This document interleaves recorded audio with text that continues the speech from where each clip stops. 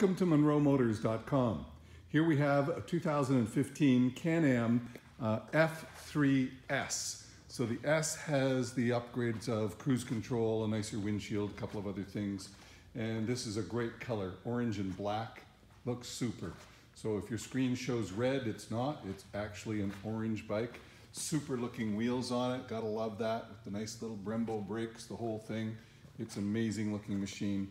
Underneath in the hood here, um, we have the uh, welcome DVD and the books are all there and a shifter linkage in case you want to change the position of the shifter linkage. So it's there and available. So that's on your, let me show you over here.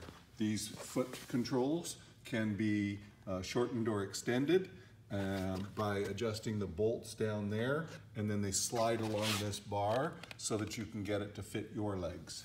So uh, again, here's your nice looking wheels and tires and looking in great shape. Um, fabulous machine. I want to show you on the front, um, no real damage there, no issues, all looking nice and tidy and clean, good looking bike. So uh, back here, I've left the seat off so that you can see it's a nice, clean, tidy bike. It's got the tool kit with it. So we'll just put that back on in place, which goes there, and we're all set. Um, up here, it's got a cell, cell phone holder and a drink cup holder. And there's your uh, nice adjustable windshield. This one has 13,715 uh, kilometers, as you can see there. So let me just do what I'm supposed to do here, which is hit Eco. And then over here, hit this and hit the brake and push start. There you go. So the emergency brake is on, it's good, it's working. Kilometers are there. Runs nice, in great shape. All the lights work.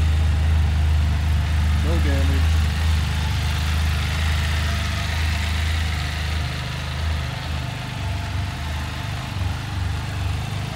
No stone chips, no scratches, nice mirrors. We'll just turn it off there, and then we can turn the key off there. The emergency is on, so we're all good. Um, yeah. So there you have it, folks. That's a 2015 uh, Can-Am Spyder F3S in orange and black. Uh, low kilometers, traded in here on a Corvette, ready to go to your home. Come on down and have a look at this one for yourself. Hey, I look forward to seeing you real soon.